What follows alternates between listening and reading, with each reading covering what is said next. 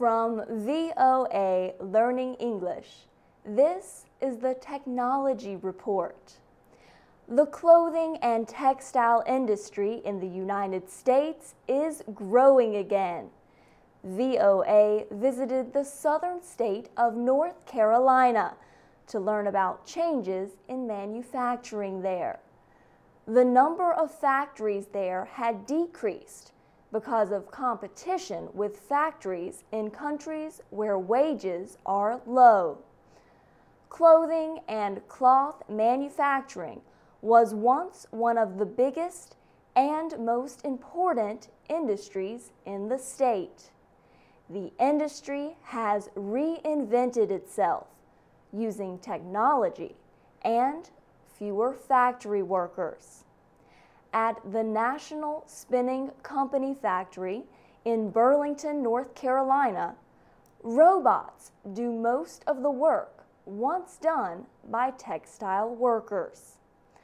The factory adds colors to more than 110,000 kilograms of yarn every week. The yarn is sent to clothing and furniture makers in the U.S. and around the world. Michael Hankensen is one of only two workers who take care of the machines. He says it would take an army of men to do the work now done by computer controlled robotic machines.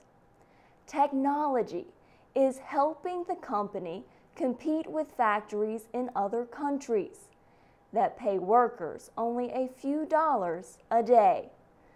The National Spinning Company factory pays its 100 employees between 10 and $20 an hour. The factory supervisor says it is important to limit labor costs.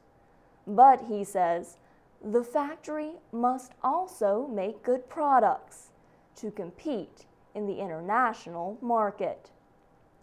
Deborah Wince-Smith is the president of the Council on Competitiveness. She says the textile industry must continue to develop technology. The industry has built 23 factories in the last three years. It has also increased its exports by 30 percent the American textile industry is showing new signs of life. For VOA Learning English, I'm Carla Babb.